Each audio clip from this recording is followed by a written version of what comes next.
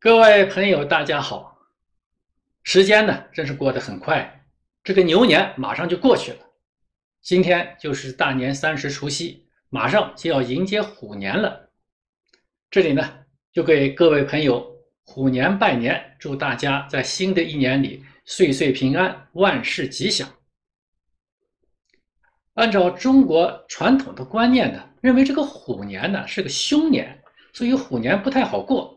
所以呢，大家都要注意，不要犯凶星。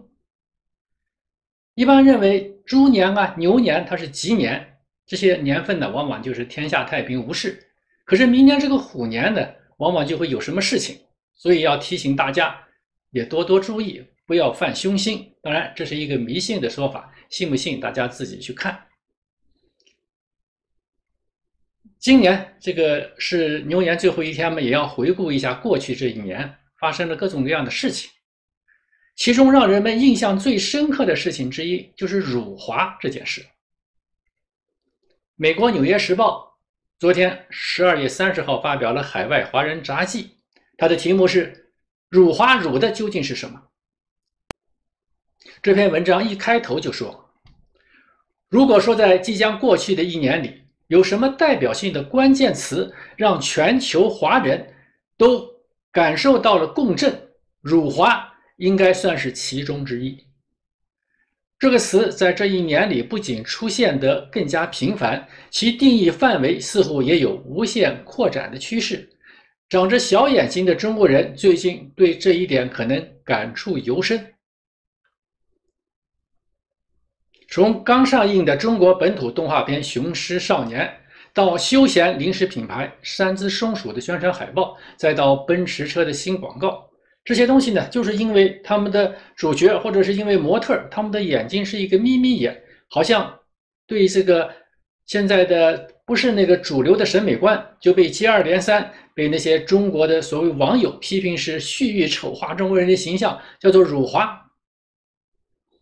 而且各种各样的辱华，也不只是这一件事情。华人模特用筷子吃意大利面，这就是辱华。中国背景的影片中用白人做主角，这也是辱华。如果外国歌手做错了什么事情，就是辱华；穿错了衣服，这也是辱华。美国的职业篮球队经理也是辱华，很多国际品牌也都辱华。反正外国媒体都是在辱华，华尔街的那些大亨都在辱华。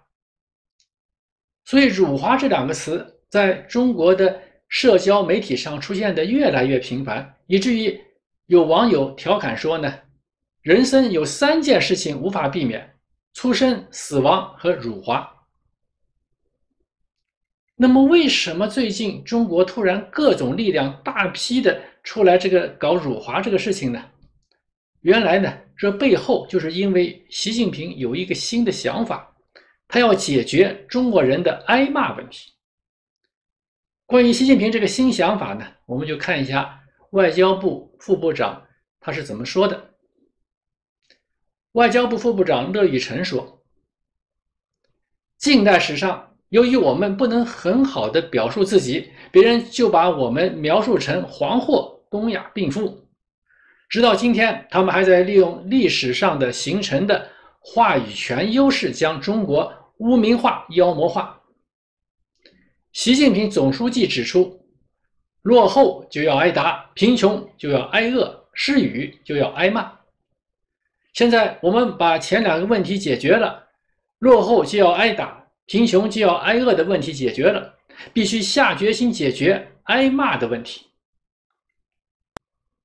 也就是说，习近平提出一个新说法：毛泽东解决了中国人的挨打问题，邓小平解决了中国人的挨饿问题。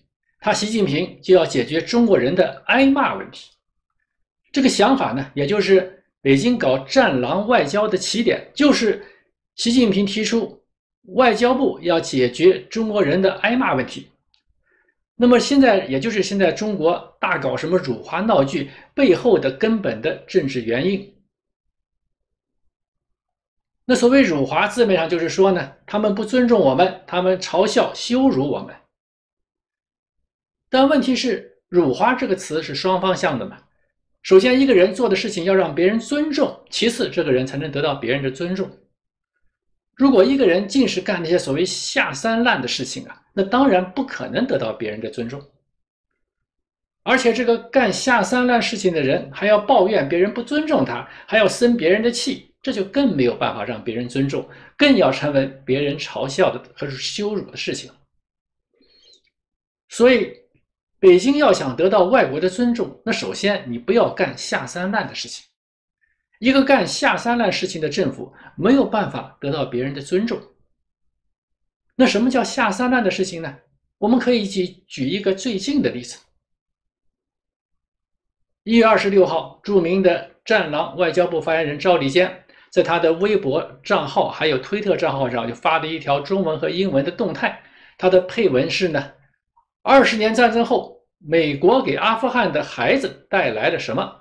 并附上四张摄影照片，在这个照片当中啊，穿着这个破烂衣服的男孩呢，正在垃圾堆中翻找被废弃的炮弹和弹壳，作为一个旧金属去贩卖。赵立坚显然想用这些图片呢，来告诉人们说，美国和美军发动的阿富汗战争给当地人们带来了巨大的苦难。可是呢？这组照片的拍摄者是一位叙利亚的实验室摄影师啊，他很快在推特上做出声明，说是赵立坚盗用他的照片，并进行了错误的说明。因为这四张照片并不是拍摄在阿富汗，而是拍摄在叙利亚，它反映的是叙利亚儿童的惨况。这些照片呢，在联合国儿童基金会的网站上可以查到，并且呢，在2021年的联合国儿童基金会的摄影比赛中还获得了荣誉奖。根据摄影师的说明，这个照片中这些炮弹和弹壳是俄罗斯军队留下来的，和美军其实没一毛钱的关系。那么显然，这是赵立坚就是栽赃啊！本来是俄罗斯的这些炮弹，他栽赃说是美国的炮弹，这就是公然制造假新闻、公然造谣啊！这样子制造假新闻、造谣，当然就叫做下三滥的事情。一月二十八号。赵立坚就把这些相关的贴文从他的推特、微博的账户上删掉了，但是呢，没有做任何的说明，也没有任何的道歉。如果说赵立坚对用错了这个图片进行一些道歉的话，还算是有羞辱之心，还能赢得别人一点的尊重。可是赵立坚作为国家外交部的发言人，公然造谣，而且这个谣言被戳破之后，还没有任何的歉意。如果是一个普通人，你在社交媒体上公然造谣，谣言被戳破之后还没有任何的歉意，这样的人肯定是要被人们嘲笑的，不可能有人会尊重他们。那么赵立坚这样的做法，他已经是代表，不就是说代表这个国家，不是代表他个人了吗？一个国家的代言人用这种下三滥的事情来向世界上说明什么呢？他怎么能得到这个世界上的尊重呢？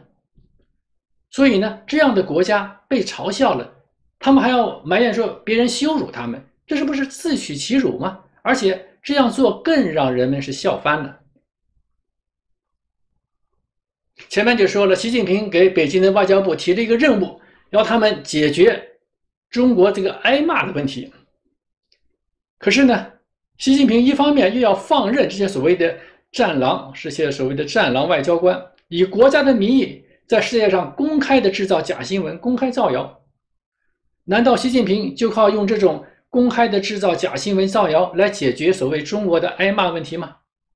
如果他真是这么想的话，那真是无语了嘛。总而言之嘛，今今年一年，中国突然掀起一股辱华的热潮，它这个背后的核心的背景就是习近平有一个新想法。习近平说。落后就要挨打，贫穷就要挨饿，失语就要挨骂。那么毛泽东解决了中国人的挨打问题，邓小平解决了中国人的挨饿问题，他习近平要解决中国人的挨骂问题。那么习近平现在下决心要解决中国人的挨骂问题，这其实就是现在中国一切辱华问题的原点。好，今天先说到这里，非常感谢各位朋友观看我们的频道。希望今后继续得到朋友们的支持和帮助，明天见。